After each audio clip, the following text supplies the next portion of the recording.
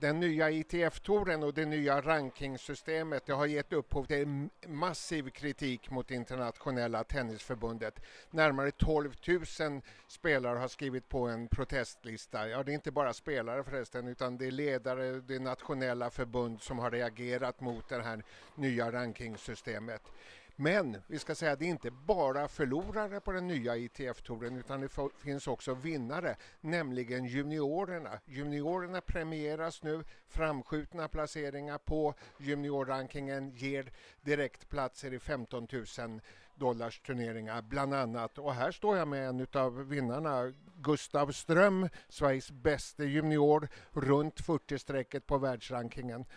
Hur har det påverkat dig, eller har det påverkat dig på något sätt? Eh, det kommer ju påverka mig eftersom jag kommer spela 15 000 turneringar och eh, 25 också förmodligen, förhoppningsvis.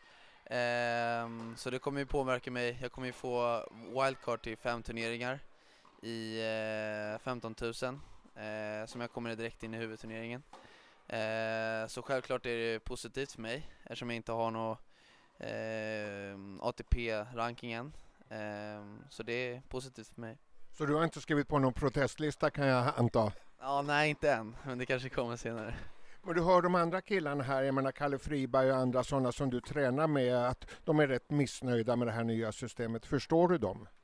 Ja, det kan jag förstå. Eftersom det är, vad jag vet så är det så väldigt få som kommer in i huvudturneringen och kvalet. Så att, eh, ja, det är väldigt svårt för de som inte har poäng och de som inte är juniorer.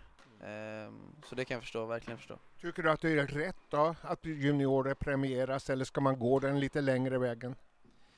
Jag vet inte riktigt vad som är rätt, men eh, vi får väl se eh, nu, efter, eh, efter den här, det här året kanske och se vad som ble, blev bäst. Men ja, jag vet inte riktigt. Men för mig så är det ju såklart bra. Och jag ska säga det, trots den här massiva kritiken så säger ITF att de kommer köra hela året och göra en utvärdering efter. Och det finns väl ett risk att ett antal hundratals spelare lägger av kanske under säsongen. Om vi tittar, du var, kom på ATP-rankingen förra året när du vann första omgången i, i Falu Future. Det hade i år inte alls räckt till någon ATP poäng och du försvann också från listan. Hur kändes det? Du kom med och sen åkte du bort någon månad senare. Jo, det var ju roligt när jag kom med, men eh, såklart, jag visste att det skulle bli till eh, Transition Tour. Eh, så att, ja, jag var väl lite eh, inställd på det också, men det var väl, det var väl okej okay ändå. Nu måste man gå till minst semifinal i en 25 för att få ATP-poäng. har man lagt ribban lite för högt tycker du? Eh, jag vet inte riktigt, men det är ju tufft såklart eh, att gå till semifinal i en 25 eh, Väldigt tufft motstånd. Eh, både i 15 000 och 25 så att, eh, ja, det är klart det är tufft. Sveriges bästa junior, alltså Gustav Ström, premieras för det förra veckan, fick 200 000 kronor i ett stipendium från Strebestiftelsen. Vad betyder det för dig? Eh, väldigt mycket. Eh, hjälper mig att kunna resa eh, och lägga eh, mycket stor vikt på fysträningen också. Så det hjälper mig väldigt mycket. Skulle räcka till en Rolex-klocka? Ja, det skulle det kunna göra, men nej, jag väljer att lägga det på tennisen istället. Allt på tennisen. Du, statusen nu. Jag vet att du har lite problem med en uh, fot. Berätta.